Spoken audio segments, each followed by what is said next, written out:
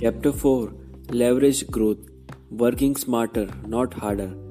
It is not enough to be busy. So are the ends. The question is, what are we busy about? In August of 1888, an Atlanta druggist by the name of Asa Candler paid $2,300 in cash for the exclusive rights to a carbonated fountain drink called Coca Cola. Coca Cola was an immediate success in the Atlanta area, and by the turn of the century, virtually every drug store in the South featured a soda fountain where a customer could sit down and sip a cold Coke for 5 cents. Then Candler made a monumental decision that would transform Coca Cola from a small regional company into an international household name.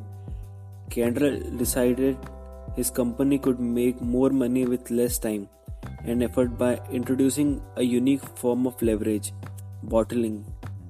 The secret to Coke's international success. There's a fascinating story behind Candler's decision to bottle Coke.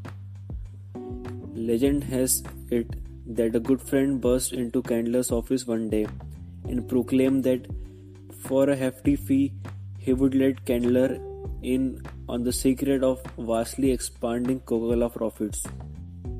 The two men bickered back and forth for a good part of the day until Candler's curiosity eventually got the best of him and he wrote his friend a check.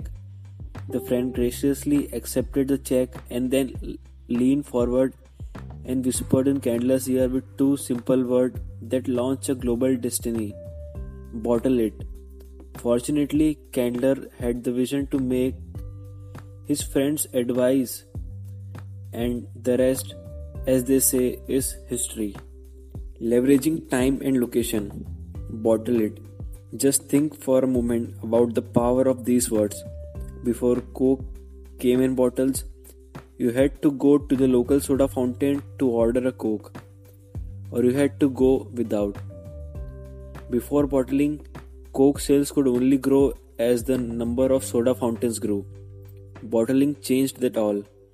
The consumer didn't have to go to the soda fountain to enjoy a Coke because, in effect, when a consumer bought a six pack of Coke, the consumer brought the soda fountain at home with him.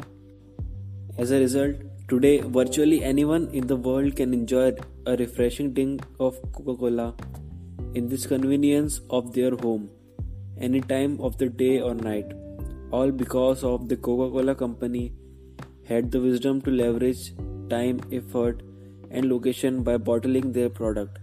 What is leverage? The root word of leverage, lever, comes from an old French word meaning to make lighter, which is an apt description of the power of leverage. By wisely using certain levers or tools, difficult tasks can be performed in a lot less time with a lot less effort, thus making them lighter. Consider the effort it would take to replace an engine in a car without taking advantage of leverage. How many strong men do you think it would take to lift an engine out of your car? 5, 10, or more. Now think about how your local car mechanic could perform the same tasks in a fraction of the time with a fraction of the effort. First, he would position a well oiled hose on a sturdy beam above the engine Next, he would secure the engine with ropes and chains attached to the hoist. Then he would attach the pull rope to an electric powered flywheel. With a flick of a switch, the engine could be lifted out of the car in a matter of seconds. That's the power of leverage. It increases productivity by maximizing time, effort, and money. How corporations use leverage. For centuries, enterprising people have been making their jobs lighter. This is more productive and more profitable through the concept of leverage. That's really what increased productivity is all about. Working smarter instead of harder by finding a way to make a lot more money in a lot less time. Hiring employees is the most obvious way business owners leverage their time. Virtually every major company in the world, from Ford Motor Company to Sony, started off with a sole proprietor who leveraged his time and talents through employees. If Henry Ford, for example, had built the Model T by himself, he could have pocketed 100% of the profits. But he knew that he would only be able to build a car or two each year working solo. Ford was smart enough to leverage his time and talents by teaching his employees to copycat his system. By taking advantage of the power of leverage, Ford built thousands of cars each year and became one of the richest men in history. Getting real smart selling real estate. Real estate companies have been taking advantage of the leverage concept for years, but instead of leveraging employees, a realtor leverages a term of independent contractors. Let's look at how a hypothetical real estate professional named Ted uses leverage to make more money in less time. Ted uses leverage to make more money in less time. Ted has been selling real estate for 20 years or so. When he first started out, he was lucky to sell one house a month, but over the years, Ted got better at his job. After 5 years in the business, he would sell 50 houses a year on an average. But no matter how hard Ted worked, it was impossible for him to sell more than one house a week by himself. After all, he could only show so many houses in a day. He could only go to so many closings in a way. So he decided to open an office. Ted recruited some of his realtor friends to work out of his office. Over the years, as he assembled 20 top notch real estate agents, each one of those agents sold 50 houses a year, which meant his office was selling more than 1000 houses a year. Now, just look at what leverage has done for Ted. On his own, Ted could sell 50 houses. By leveraging the time and talents of other agents, Ted could sell 1000 houses which would be impossible if he were still working alone. By using leverage, he is 20 times more productive while working fewer hours. That's what the expression working smarter, not harder is all about. Leveraging through franchising. Franchising took the concept of leverage to an even higher level than real estate office. Although franchising has been around for years, it wasn't recognized as legitimate business concept until the early 1950s when a milkshake appliance salesman Ray Kroc bought the right to franchise a fast food restaurant called McDonald's. Ray Kroc didn't invent franchising, but he sure perfected it. Kroc understood that the key to a successful franchise was duplication. So he went about setting up a foolproof system that spelled out every detail of a successful franchisee.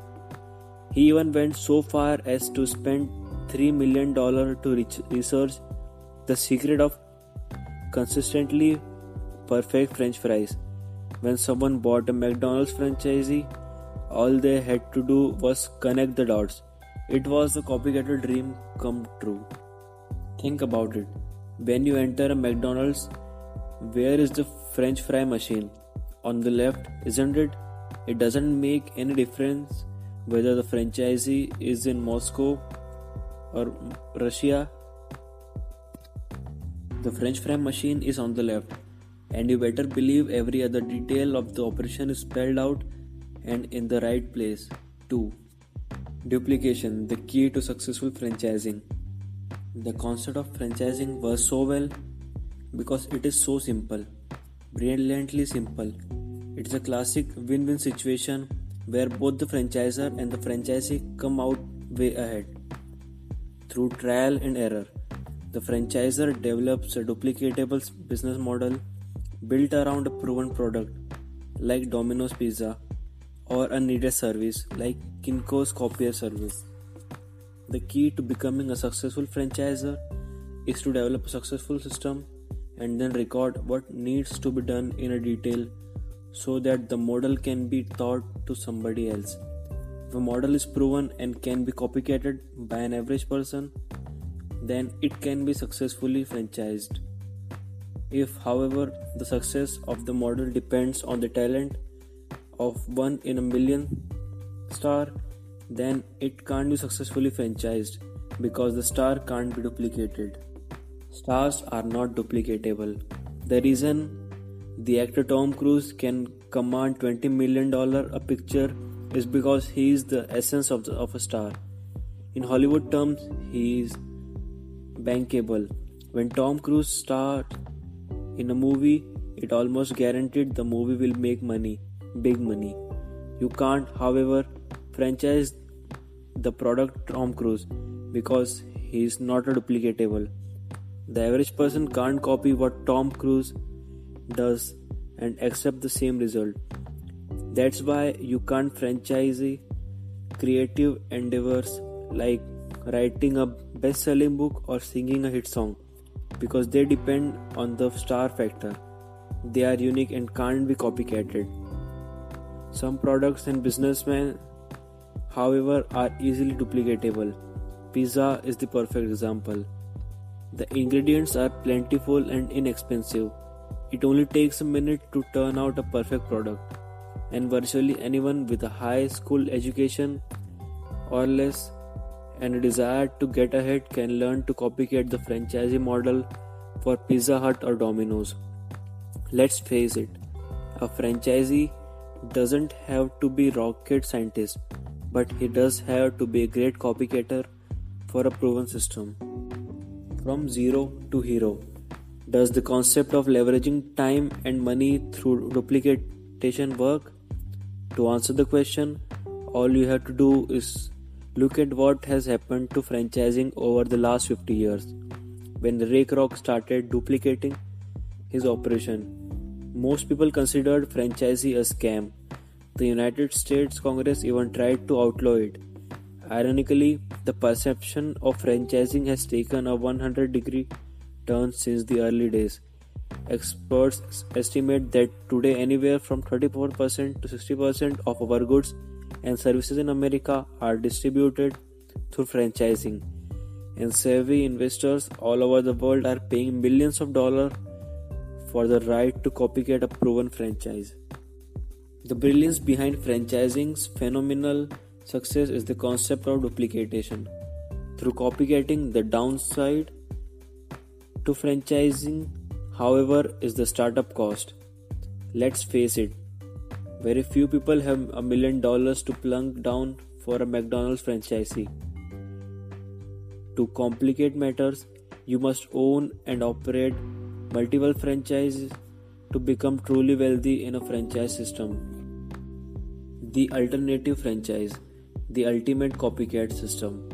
Suppose there were a franchise type concept with a very affordable startup cost $500 or less and suppose this alternative franchisee took advantage of the most powerful form of the leverage growth known to humans exponential growth through compounding. What you would have is ultimate copycat system to create wealth wouldn't you? Today there is a way for average person to copycat the wealth building system of history's richest people Today, there is a way to get paid 1000 times for the work you do once, instead of getting paid once for the work you do 1000 times. In the coming pages, you are going to learn more about exponential growth, a proven system for wealth creation that average people like you and I can copycat.